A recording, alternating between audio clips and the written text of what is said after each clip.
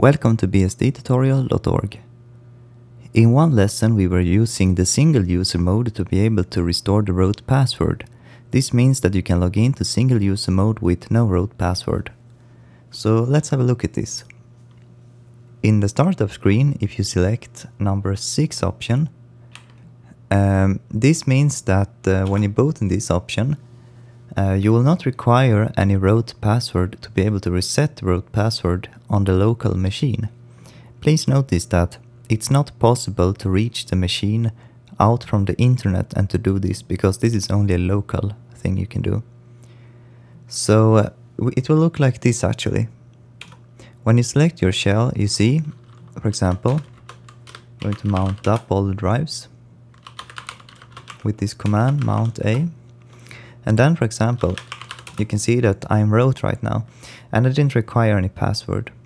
So in case there are moments, for example, that you have your service in environments, uh, you have your service in places, physical places, where you really cannot trust that people are there that you think perhaps they can reset my root password or steal anything. Well, uh, we can solve this, and uh, this is the tutorial is about. So let's reboot now and go back to the normal mode and I'm going to show you exactly how to disable so that single user mode will require the root password to be able to log in.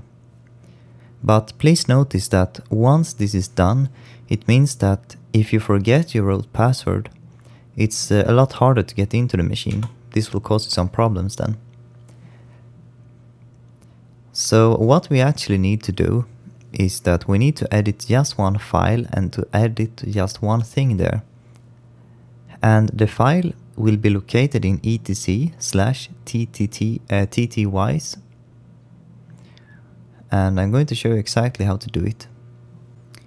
Uh, please notice that um, uh, in my case I'm not using any password, but it uh, but I'm going to put the password right now.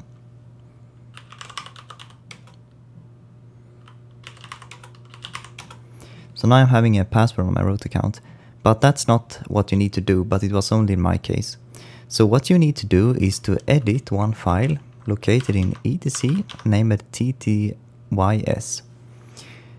In this file, we are going to search for something named secure.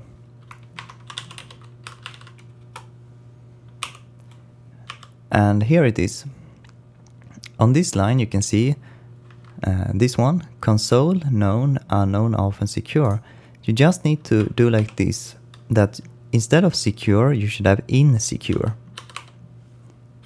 This is everything you need to do, so just save this file.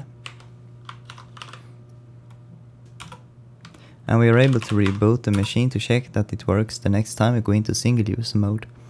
This means that if we try to enter the single user mode, it will ask for the password for the root account this time.